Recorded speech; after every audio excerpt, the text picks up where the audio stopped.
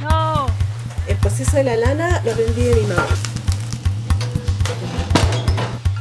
Es magia. Es magia, de verdad.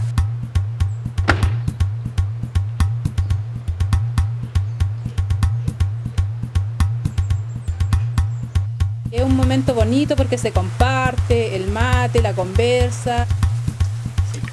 Yo como que me conecto con, la naturaleza, con el paisaje y como que mis trabajos eh, siempre salen con relación a lo que yo en ese momento estoy sintiendo.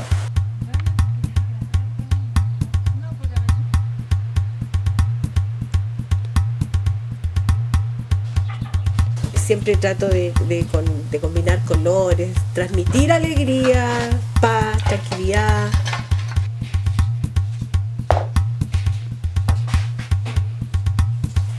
Una vez hilada ya es parte de tus palillos.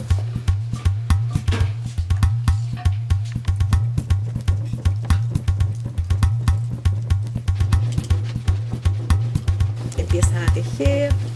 Eh, puedes teñir incluso también productos con productos naturales, con cebolla, con hojas de árboles, con raíces, con frutas.